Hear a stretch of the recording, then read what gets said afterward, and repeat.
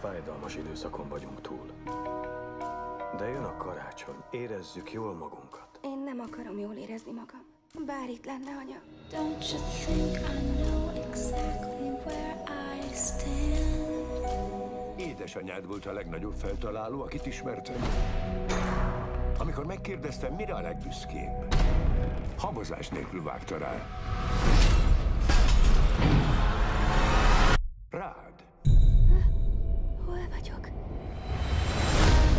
Bemutatja Anyukát hozta létre a világunkat. Mindezt ő alkotta. a szépség és a szörnyeteg. Ő volt a királynőnk. Szolgálatára hercegnő. Hercegnő. és a demon alkotóitól. A kezedben a birodalmak sorsa.